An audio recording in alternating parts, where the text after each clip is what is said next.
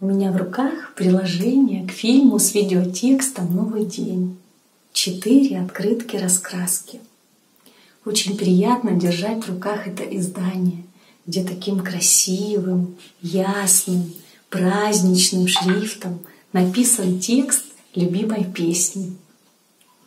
Удивительно, что только прикасаясь карандашом каждой буквы, в душе появляется радость как будто лучик из песни освещает весь внутренний мир, общаясь со мной.